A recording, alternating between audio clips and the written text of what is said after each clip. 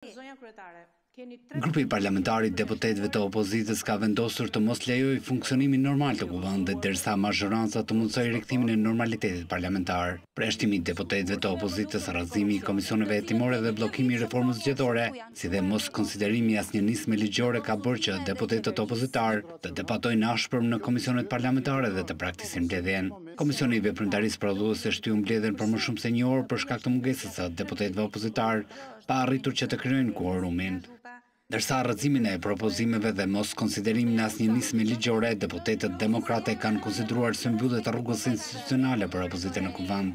E njëjta situatë u krijua edhe në Komisionin e Ligjeve.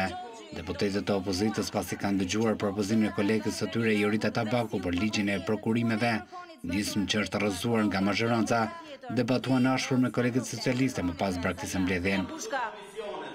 Zonja Bushka, me shumë seriozitet unë dhe disa kolegë të tjerë të grupit parlamentar që fatkeqësisht i keni përjashtuar, kemi përgatitur një nismë ligjore që e kam dorëzuar unë në emrin tim, po është nismë e grupit parlamentar të PD-së. Ato fatkeqësisht sot nuk janë këtu se i keni përjashtuar.